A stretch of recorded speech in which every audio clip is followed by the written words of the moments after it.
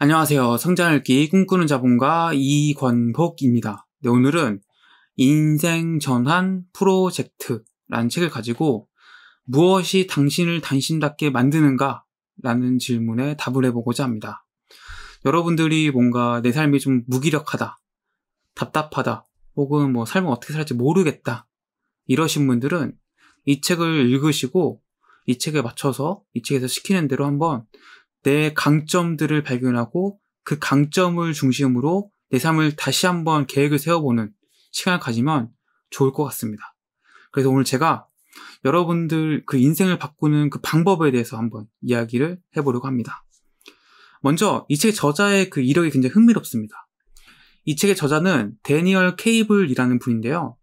이분은 정말 남부러울 게 없었, 없었던 사람이에요. 글로벌 컨설팅 firm에서 일을 했고요. 또 런던 비즈니스 스쿨의 교수로 일을 합니다. 그런데 34살에 34세에 암 선고를 받습니다. 암 선고. 정말 남들이 다 부러워하는 좋은 직장, 그리고 가족들, 그리고 뭐 별장도 있었어요. 이러신 분이 갑자기 34살에 당신은 암에 걸렸습니다. 얼마나 청천벽력 같은 소리입니까? 이 암 선고가 이 데니얼 케이블의 삶을 바꿉니다. 어떻게 바꾸면요. 말씀드릴게요, 지금부터. 일단 암 선고를 받자 가장 먼저 든 생각은 이 생각이었다고 해요. 지금까지 내가, 내가 살아온 삶들이 과연 누구를 위한 삶이었나? 내가 이 삶을 살아가면서 정말 중요하다고 생각했던 그 기준들 있잖아요. 삶의 가치들 있잖아요. 그게 과연 누구를 위한 기준이었나? 이 생각을 하게 된 겁니다. 어, 이 책의 저자는 아까 말씀드린 대로 뭐 승진도 빨랐고요. 가족들도 이미 다 있었고 별장까지 갖고 있을 정도로 경제적으로도 문제가 없었습니다. 그런데 아, 내가 이렇게 지금 계속 사는 거는 마치 인생을 몽유병 환자처럼 보내는 것 같다. 이렇게 살아는 안 된다. 라는 거를 깨닫게 된 겁니다. 결과적으로 인생을 낭비하고 있구나 내가 이걸 알게 된 거죠. 그래서 암선고를 통해서 이 책의 저자는 이제 삶의 유한성을 깨닫습니다. 우리가 보통 삶을 살아갈 때는 뭐 90살, 100살, 아니 더 심지어는 영원히 살 것처럼 이제 믿고 살아가죠. 뭐 막연하게 뭐 어마어마한 돈을 벌겠다고 하거나 좋은 집, 큰 집을 위해서 현재를 희생하거나 이런 경우가 굉장히 많죠.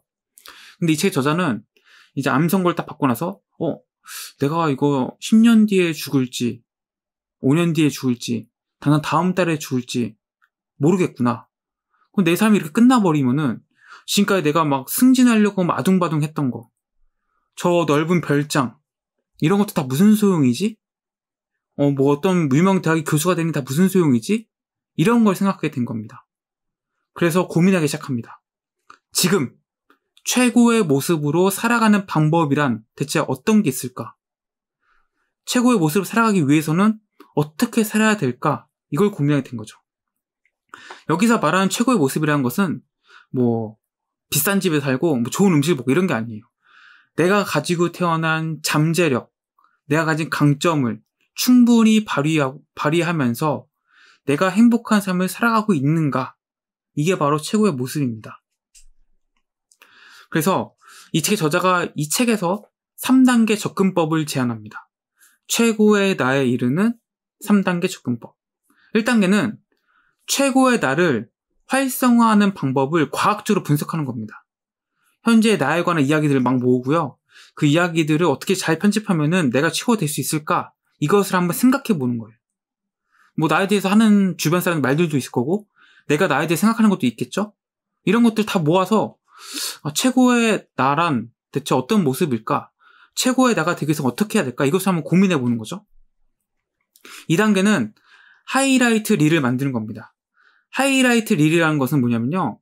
어, 이 책에서 굉장히 중요한 그 개념이라고 할까요? 그런 것 중 하나인데, 어, 내가 지금까지 인생 살아오지 않습니까? 살아오면은 그 중에서 내가 정말 남들이 다 인정할 만한 정말 훌륭한 성과를 낸 적도 있을 거고, 스스로 생각하기에 정말 자랑스러웠던 이야기들도 있을 거 아닙니까? 그것들 다 모으는 거예요. 그것 다 모아가지고, 아, 내가 그 잘된 거, 정말, 내가 정말 훌륭했던 거, 내가 정말 탁월했던 거, 이런 것들로, 어, 내 인생의 뭔가 하이라이트 장면들을 모으는 겁니다. 이게 바로 하이라이트 릴이에요. 이게 바로 2단계고요. 그리고 3단계에는 그렇게 하이라이트 릴을 쭉 보면은 아 내가 이런 걸 잘했구나. 내가 이런 거할때 남들한테 좀 인정받았네. 좋은 성과가 나왔네? 이런 걸 알게 되죠. 그 고유한 강점을 활용하는 법을 배우는 겁니다. 그러면 여러분들이 이제 삶에서 최고의 나에 이르는 단추를 끼기 시작한 거예요. 내가 가진 잠재력을 충분히 활용하면서 살아갈 수 있는 그러면서 행복한 그런 삶을 살아갈 수 있는 토대를 닦은 거죠. 여러분들은 그래서 여러분들이 갖고 있는 강점에 대해서 인식을 해야 됩니다. 그 강점을 바탕으로 앞으로의 삶을 계획하고 편성해야지 여러분들의 삶이 훨씬 더 나아지고 훨씬 더 행복해질 거란 겁니다. 그래서 이 책에서는 이런 걸 얘기하는 거예요, 결국. 내가 가진 뛰어난 강점, 그 기질을 활용한 인생 습관을 만드는 법, 그리고 가장 잘하는 일을 중심으로 삶을 재편성하는 법, 이 두 가지를 이 책에서 가르쳐 줍니다. 그럼 이제 하나하나 배워볼게요. 일단, 여러분들은 잠재력에 다가서야 됩니다.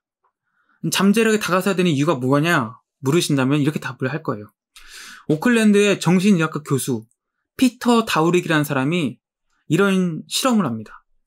신체 장애로 취업이 어려운 학생들과 워크숍을 떠나요. 워크숍을 하는데 이 집단을 둘로 나눕니다. A 집단은 어, 속도가 좀 느리거나 실수하는 장면 그리고 뭐 성과 잘 안 나는 걸 다 잘은 즉 잘하는 것만 보여주는 영상을 보여주는 거예요. 또 다른 집단에게는 결과가 10%늘 때마다 인센티브를 주겠다 이렇게 얘기한 거죠. A와 B 중에서 어느 집단이 더 높은 성과 나왔을까요? 인센티브를 주기로 한 그 집단에서 더 좋은 성과 나왔을까요? 아니면은 속도가 늦거나 실수하는 장면을 다 삭제한 잘한 것만 보여준 영상 뭐 다른 대, 대가나 보상은 없습니다. 그 영상을 보여준 집단이 더 성과 높았을까요? 실제로 2주 동안 실험을 해보니까 2주 후에 딱 결과가 나온 거예요. 어떻게 결과가 나왔냐? 실수가 삭제된 작업 영상을 본 집단이 생산성이 15% 오릅니다. 반면에 너네 생산성 10% 오를 때마다 내가 인센티브, 인센티브 줄게. 이런 집단에게는 고작 3%밖에 성과가 증가하지 않았다는 거죠. 놀랍지 않습니까?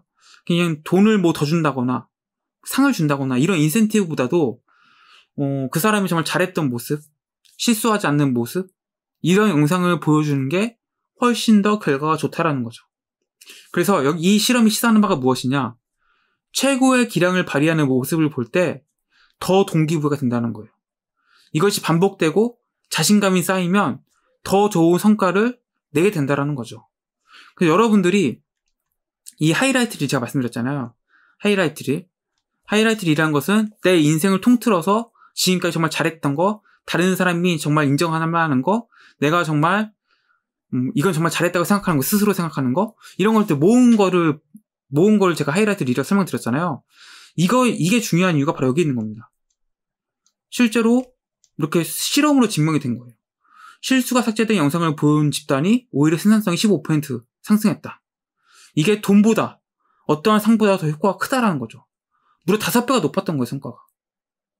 그러니까 여러분들이 삶에서 내가 잘했던 것만 인식하고 기억하고 이걸 자꾸 반복해서 생각하는 게 중요한 이유가 바로 여기 있는 거죠. 여러분들이 가진 기량이 최상의 성과로 이어질 수 있기 때문에. 그리고 이게 반복되면은 더 좋은 성과를 만들어지는 선순환이 만들어지기 때문에 그렇습니다. 어, 그리고 여러분들이 삶을 살아가는 데 있어서 굉장히 중요한 게 하나 있습니다. 바로 진정성입니다. 진정성.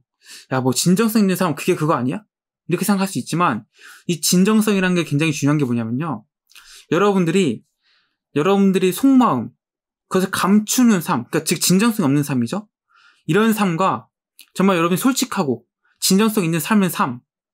이 두 가지의 차이점이 뭐냐면은 여러분들이 막 여러분이 가진 속마음을 막 속이고 이럴 때 여러분들이 훨씬 더 많은 에너지를 소비한다는 거예요. 대표적인 사례가 뭐죠? 감정 노동이죠. 감정 노동.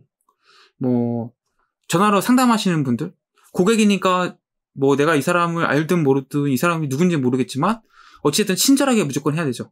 그러니까 실제 내 기분이 나쁘든 좋든 간에 난 항상 이 사람한테 친절하게 해야 되는 거예요. 그러니까 내가 진정성이 없는 거죠. 그냥 나는 이 사람에게 친절해야 되니까 친절하게 하는 거예요.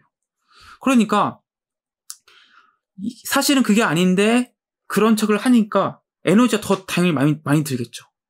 그거 당연히 더 힘들어지는 거고, 당연히 그 일을 오래 하면 오래 할수록 성과가 점점 떨어질 수밖에 없겠죠. 왜? 시간이 지나면 지날수록 지치니까. 마찬가지라는 거예요. 우리 삶에서도 여러분들이 진정성이 없는 일을 하게 되면은 이거는 오래 할 수도 없고 다른 사람이 진정성 있게 일을 하는 것보다 더 많은 에너지가 필요하기 때문에 굉장히 비효율적이라는 거죠. 여러분들은 여러분들이 삶을 살아가는 데 있어서 굉장히 진정성 있는 삶을 추구해야 됩니다. 그래야지 여러분들 그 일을 하셨을 때 어떠한 삶을 살아갔을 때 훨씬 더 적은 에너지가 들어가고 훨씬 더 좋은 성과가 나온다는 겁니다. 우리가 특별한 존재임을 모르는 이유. 여러분들이 삶을 살아가다 보면은 나는 다른 사람에 비해서 강점이 딱히 있는 것 같지도 않고 또 딱히 다른, 다른 사람보다 뭐 다른 무언가가 없는 것처럼 느낄 때가 많습니다. 그 이유가 무엇이냐? 여러분들이 진짜 그런 강점이나 다른 사람과 구별되는 구별점이 없어서가 아니라 두 가지 이유 때문에 그렇습니다. 첫 번째는 칭찬을 미루기 때문에 그렇습니다. 특히 우리나라 같은 경우에는 되게 유교 사상이 강하잖아요. 그러니까 남들이 뭔가 나를 칭찬하거나 내가 다른 사람을 칭찬하는 게 굉장히 어색합니다. 그러다 보니까 다른 사람이 무엇 하든지 잘 신경 안 쓰게 돼요. 무관심한 거예요, 그냥. 그 사람에 대해서, 그 사람의 한 행동에 대해서 칭찬을 하게 되면은, 아, 이 사람이 이런 일을 해서, 이런 상황 속에서 이런 성과를 냈구나. 이런 걸 다 알아야지만 칭찬이 가능한 거 아니겠습니까? 근데 우리는 칭찬이란 문화 자체가 되게 어색하고 잘 없다 보니까 그냥 다른 사람의 행동이나 다른 사람이 갖고 있는 그런 자질들에 대해서 굉장히 무관심해지는 거예요. 이게 바로 칭찬 미루기 때문에 그렇습니다. 그래서 우리는 다른 사람한테 내가 칭찬을 받을 일도 없고 내가 다른 사람에게 관심을 가져서 칭찬할 일도 없다 보니까 내가 갖고 있는 이 능력이 특별한 건지 인식을 못하는 거예요. 왜냐하면 이 특별함이라는 것은 남과 비교할 때 비로소 도드라지는 거거든요. 그런데 그런 걸 아예 없다 보니까 나만 나만 바라보니까 그런 걸 하지 못하는 거죠. 인식을 아예 못하는 거죠. 그 두 번째는 삶의 유한성에 대해서 거부감을 갖고 있기 때문에 그렇습니다. 삶의 유한성에 대해서 거부감을 갖고 있기 때문에 여러분들은 게으름을 피웁니다. 왜? 내가 내일도 살 거고 다음 달에도 살아 있을 거고 10년 뒤에도 살아 있을 거기 때문에 내가 이걸 오늘 당장 하지 않고 계속 미루는 거죠. 우리는 언젠간 죽지만 머릿속은 알고 있지만 이거를 가슴으로 받아들이지 못하고 이 사실을 받아들이지 못하는 거예요. 그 결과 내가 가진 잠재력을 충분히 발휘하지 못하고 오늘 지금 발휘하지 못하고 내일로 미루고 1년 뒤로 미루고 10년 뒤로 미루고 계속 미룬다는 거죠. 계속 미루다 보면 내가 언젠간 죽겠죠. 이 두 가지 때문에 우리는 우리 자신이 특별한 존재를 모르고 계속 삶을 살아간다고 얘기하고 있습니다. 그래서 우리는 삶의 유한성에 대한 거부감을 극복해야 됩니다. 영원히 살지 않는다는 생각을 가져야 돼요. 우리는 그 죽음이라는 것을 금기시하잖아요. 그러니까 이걸 최대한 생각 안 하려고 해요. 배척해요, 일부러. 그러다 보니까 계속 미루는 거거든요. 하지만 죽음은 사실 우리가 굉장히 가까이 있죠. 당장 우리가 교통사고로 죽을 수도 있고요. 뭐 불의의 사고로 죽을 수도 있습니다. 당장 한 시간 뒤에 죽, 죽더라도 사실은 우리가 지금 살고 있는 이 사회에서는 어떻게 보면 전혀 이상한 일이 아니에요. 그만큼 죽음과 우리는 밀접하게 살아가고 있는데 우리는 이 죽음을 금기시하고 죽음에 대한 거부감을 느끼고 있죠. 그래서 자꾸 우리가 영원히 산다는 착각을 하며 살아가고 있는 거죠. 왜? 죽음을 생각하지 않으려고 하니까. 하지만 우리는 삶의 유한성을 정확하게 인식해줘야 돼요. 우리는 영원히 살지 못한다는 것을 누구보다 가슴과 머리로 인식하고 있어야 돼요. 그래야지만 우리는 이 우리가 가지 우리가 갖고 태어난 이 잠재력이 얼마나 시급한 일인지를 깨우치게 되고 알게 됩니다. 깨우치고 알게 되면 당장 이 내가 가진 잠재력을 발휘하고 실현하려고 열심히 살겠죠. 그래서 우리는 삶의 유한성에 대한 거부감을 극복해내야 됩니다.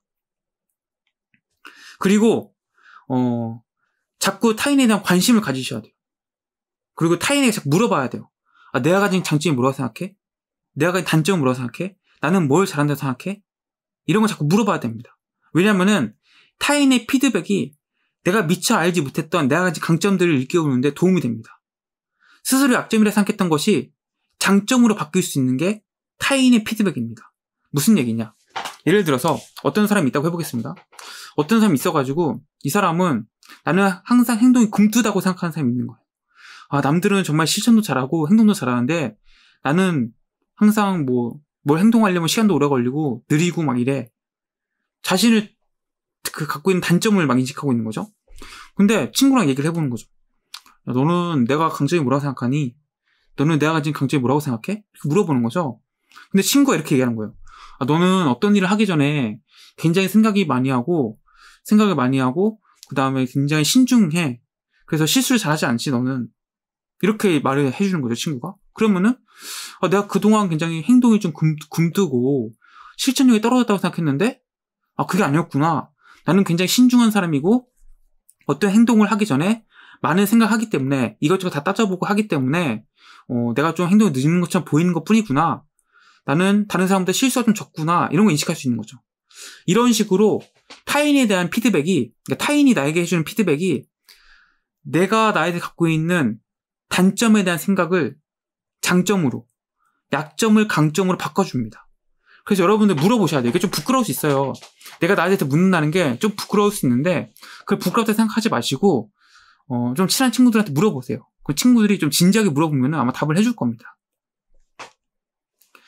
그래서 이런 얘기가 있어요. 아름다운 섬 이야기. 이 책에 나온 얘기인데, 어, 떤 섬이 있는데 굉장히 아름다워요. 물도 깨끗하고 정말 너무 경치가 좋은 거예요. 근데 여기는 섬이 작다 보니까 공항이 없어요. 첫 번째.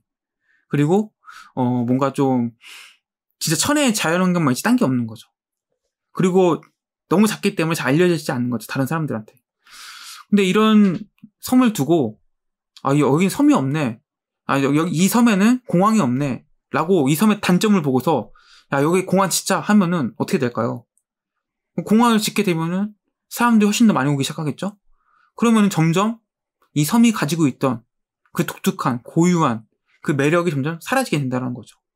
그래서 우리가, 어, 단점을 장점으로 자꾸 보려는 연습을 해야 됩니다. 약점을 강점으로 보는 연습을 자꾸 해야 돼요. 내가 나를 바라볼 때도 약점을 강점으로 볼 수 있어야 되고요. 다른 사람을 볼 때도 약점을 강점으로 볼 수 있어야 됩니다.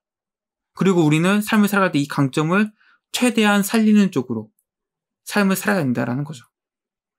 그래야지 여러분이 갖고 태어난 잠재력을 200%, 300% 발휘하는 삶을 살 수 있다라는 겁니다.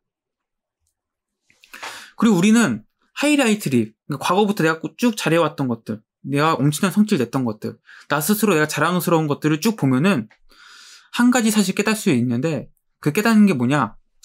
우리가 고정된 존재가 아니라 역동적으로 변화하는 존재임을 깨닫게 된다는 거예요. 어, 과거에는 내가 이런 걸 못했는데 지금 내가 이런 걸 잘하고 있네? 과거에 내가 이런 걸 좀, 전혀 할 줄도 몰랐고 하지도 않았었는데 지금은 전혀 다른 일을 하고 있네? 이 사실 자체가 내가 변화하는 존재라는 걸 알려준다는 거죠. 그리고 우리는 여기서 한 가지 깨달아야 됩니다. 뭐냐? 인생이라는 것은, 삶이라는 것은 내가 만드는 대로 만들어진다는 사실입니다. 과거에 내가 이런 걸 전혀 못했었는데 지금 하고 있잖아요? 과거에는 제가 뭐 유튜브를 하지도 않았고, 영상을 찍는 거 생각도 안 했어요. 근데 지금은 제가 유튜브도 찍고, 영상도 찍고 있죠? 그러면 앞으로 내가 10년 뒤, 20년 뒤에 어떤 삶을 살아가고, 살아가고 있을까요?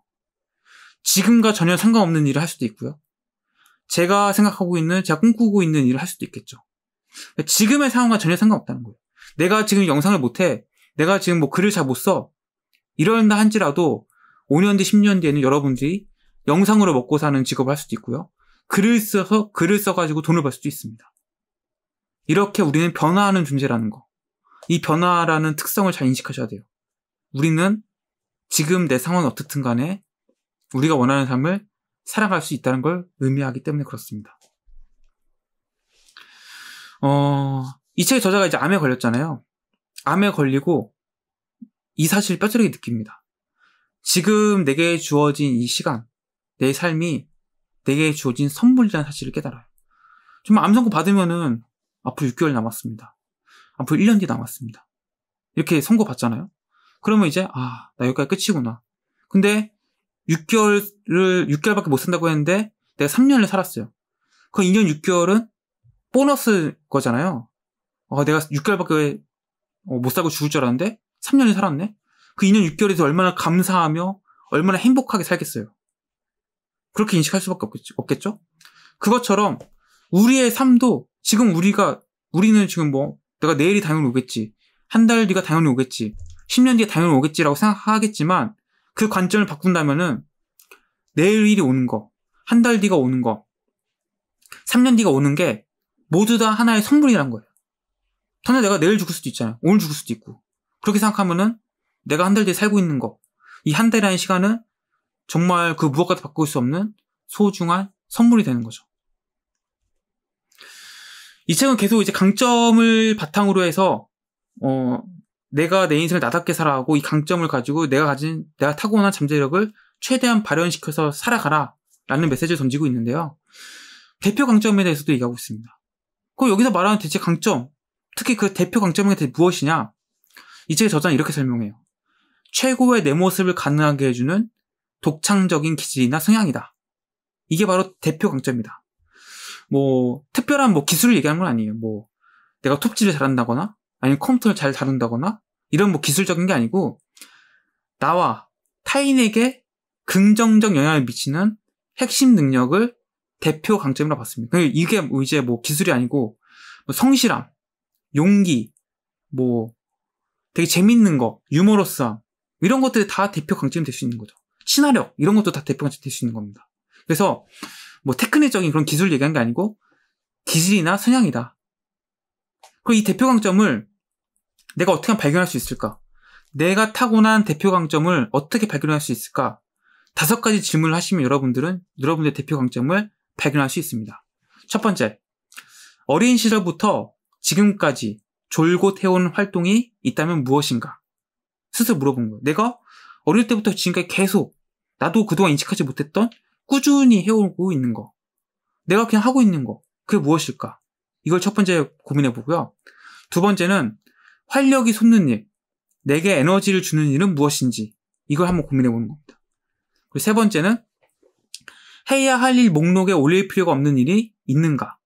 그러니까 내가 굳이 체크리스트 같은 거에, 계획 같은 거에 이걸 꼭 해야지라고 적어놓지 않아도 이미 내 스스로가 하고 있는 거. 늘상 하고 있는 거.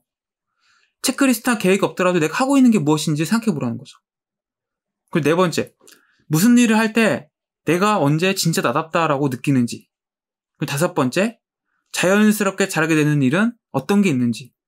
이 다섯 가지 질문에 여러분들이 한 1시간, 2시간 동안 생각하시면서 하나하나 답을 적어보세요.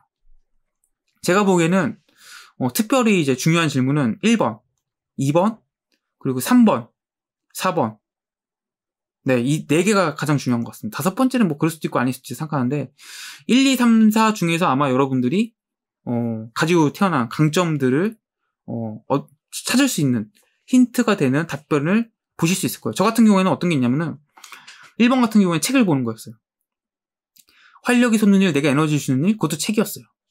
그세 번째, 해야 할 목록에 올릴 필요가 없는 거, 독서. 책을 읽는 일. 그 무슨 일 할 때 진짜 나답게 느끼, 느껴지는가 했을 때, 어, 저는 뭐, 제가 책에서 이제 깨달은 것들, 이런 것들 뭐 블로그에 정리한다든지, 유튜브 영상 찍는 거. 그, 그리고 그 영상이나 글을 보고, 어, 뭔가 느끼신 분들이 댓글 달아주는 거. 이럴 때 정말 저는 저한테 딱 맞는 일을 하고 있다 느끼거든요. 그리고 이제 자연스럽게 잘하게, 잘하게 되는 일. 이거는 저는 어, 그냥 이런 쪽을 하다 보니까 뭐 그런 교육들을 듣게 되고 뭐 이런 게 필요하구나라고 느끼해서 더 스스로 공부하게 되고 그러면 점점 실력이 는 것 같아요. 이런 식으로 찾아보다 보면 여러분들이 갖고 있는 강점들을 쉽게 발견할 수 있다는 겁니다.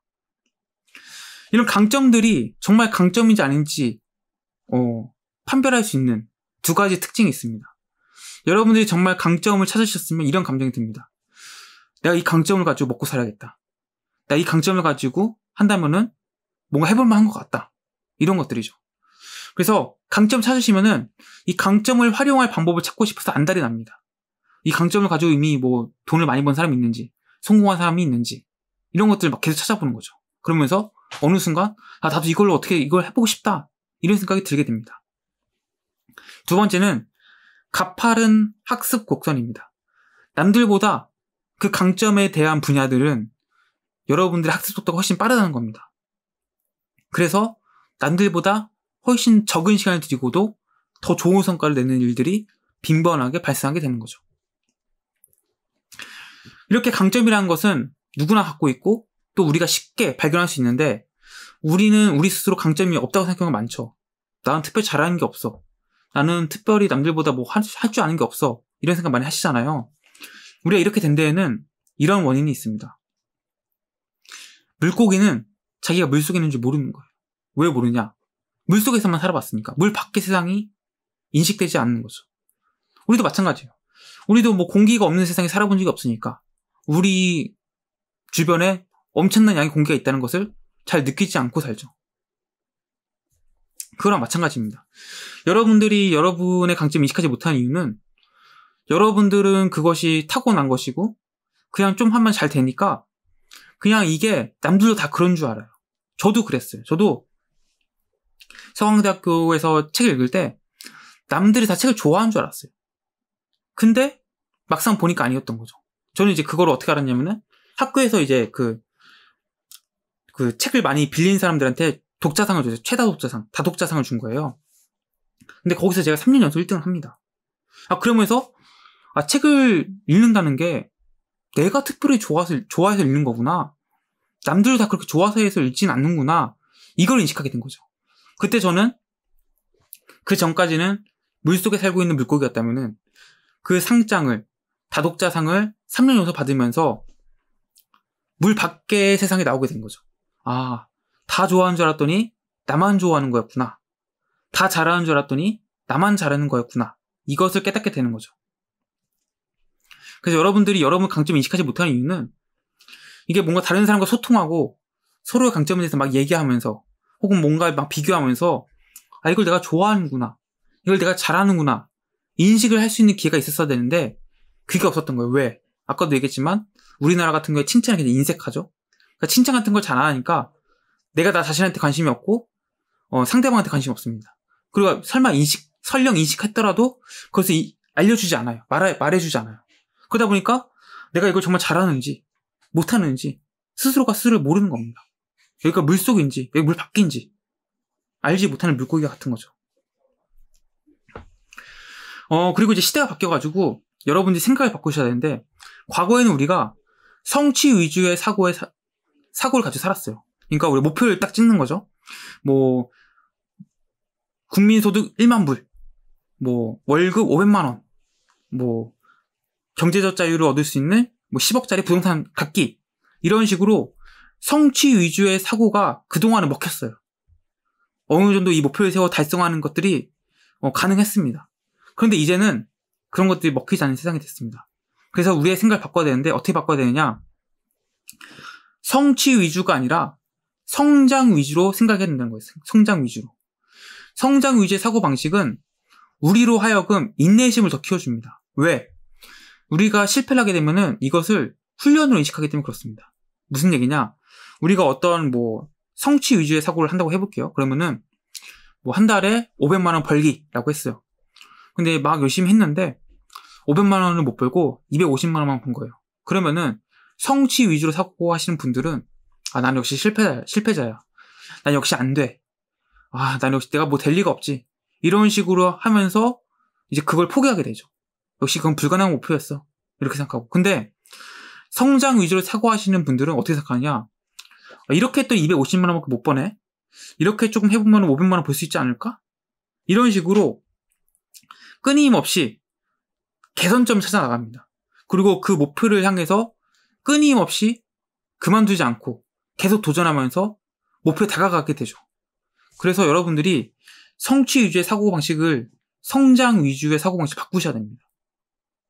바꾸시는 순간 여러분들은 실패를 하더라도 거기에서 좌절하지 않고 오히려 아, 이 실패 이렇게 하면 안 되는 안 되는 거였네.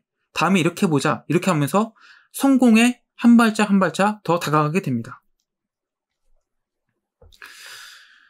어, 또 굉장히 재밌는 실험 하나 있는데 스탠퍼드 대학교의 심리학자 로라 카스텐스라는 분이 어, 자신의 수명을 어떻게 인식하고 있는지 이걸 연구합니다. 그러니까 사람들에게 물어본 거예요. 여러분들은 여러분이 앞으로 얼마나 살 것으로 보입니까?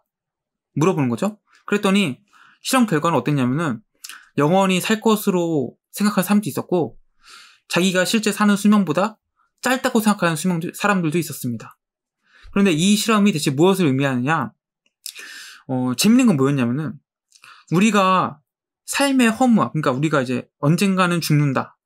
죽음 앞에서는 모든 게 사, 의미가 없잖아요. 여러분들이 뭐 엄청난 명예를 가졌든 권력을 가졌든 엄청난 돈을 가졌든 간에 죽어서 가져가지도 못하고 뭐 죽으면 다 끝나는 거 아니겠습니까 사실은? 그럼 그럼 필연적으로 사람들은 허무함에 빠집니다. 어차피 죽으면 다 끝나게 될 건데 내가 대체 무슨 낙을 보자고 이렇게 고생을 하면서 그 돈을 모으려고 할까? 이런 생각을 자연스럽게 하면서 삶의 허무함에 그 구렁텅이로 빠지게 되는데 이 허무함이라는 것이 그렇게 꼭 부정적이지만은 않다라는 거예요. 이 허무함을 극복한 사람들 봤더니 어떤 특징을 가지고 있었느냐? 계속 허무하게 삶을 인식하고 무기력하게 살아가는 게 아니라 오히려 삶의 유한성을 인식하고 지금 내가 살아오는 이, 살아가고 있는 이 순간에 굉장히 큰 집중력을 보인다는 거예요. 뭐 10년 뒤, 20년 뒤, 뭐 내가 언제 죽을지도 모르고 만약 죽게 된다면 내가 지금까지 이뤄왔던 모든 것들이 사라지게 되겠지만 거기서 그렇기 때문에 내가 나는 뭐 노력할 필요가 없어. 열심히 살 필요가 없어. 이렇게 되는 게 아니고 그래. 언제까지 살지 모르니까 나는 내가 하고 싶은 걸 지금 당장 해야 돼. 내가 목표로 한 것들을 하루라도 빨리 이룰 수 있도록 노력해야 해. 이런 식으로 지금 현재 굉장히 집중하는 집중도를 보여줬다는 거예요. 그만큼 삶을 더 충실하고 충만하게 살아갈 수 있게 되었다는 거죠. 그래서 여러분들은 설령 삶의 허무함이 느껴지더라도 아 죽으면 소용없는데 뭐하러, 뭐하러 하냐 이게 아니고 아 내가 어차피 살아가고 있으니까 내가 하고 싶은 것들 내가 목표로 한 것들은 다 이루어가며 살아가야지 한 번씩 다 해보고 살아야지 그러려면은 이걸 미루지 말고 지금 해야 돼 이런 생각 가지면서 오늘 하루 지금 하루를 굉장히 열심히 여러분이 살고 싶은 대로 행복하게 살아가셔야 된다는 겁니다. 그래서 이 인생전환 프로젝트를 보시면은 어떤 생각이 드시냐? 일단은 첫 번째, 여러분들이 여러분들이 갖고 있는 강점을 발견하셔야 됩니다. 두 번째, 그리고 이 강점을 중심으로 여러분들의 삶을 행복하고 여러분의 잠재력을 다 실현시켜 가면서 살아가셔야 돼요. 그런데 이 강점을 바탕으로 잠재력을 실현하면서 삶을 살아가기 위해서는 우리의 마인드를 바꿔야 되는데 마인드를 성취 위주의 그런 성취 중심의 사고가 아닌 성장 중심의 사고로 바꾸셔야 되고 그리고 또 삶의 유한성을 인식하고 지금 현재 굉장히 충실하고 여러분들의 잠재력을 이룰 시간이 많지 않다는 것을 인식하셔야 돼요. 그렇기 때문에 오늘 하루 굉장히 열심히 사셔야죠. 그렇게 하루하루를 살아가다 보면 당연히 하루하루 행복한 것은 물론이고 1년 뒤, 5년 뒤, 10년 뒤에는 지금 여러분의 모습보다 훨씬 더 멋지고 훨씬 더 위대한 삶을 살아갈 수 있다라는 겁니다. 그래서 여러분들이 여러분들의 삶을 좀 바꾸고 싶다 하시면은 이 인생 전환 프로젝트라는 책을 보시면서 한번 내 강점들을 인식해, 인식하시고 삶의 유한성을 인식하시면서 지금 당장 내가 무엇을 해야 되는지 한번 생각해 보는 계기가 되었으면 좋겠습니다. 네, 오늘은 인생 전환 프로젝트라는 책을 가지고, 어, 내 삶을 좀 강점 중심으로 바꾸는 삶에 대해서 이야기를 해봤고요. 다음에 또 좋은 책으로 또 찾아뵙도록 하겠습니다. 고맙습니다.